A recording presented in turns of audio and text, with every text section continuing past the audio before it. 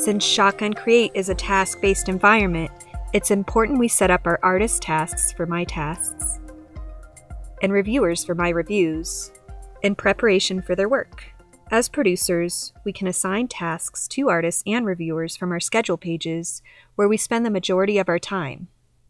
So starting from our schedule page in Dreadnoughts, let's add the reviewer field to our page if it isn't already visible, and then filter for tasks in the BES sequence.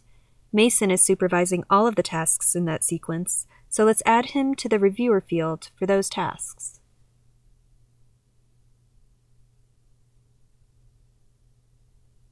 Next, Sabrina will lead the TRU sequence tasks, so let's add her to those tasks as a reviewer.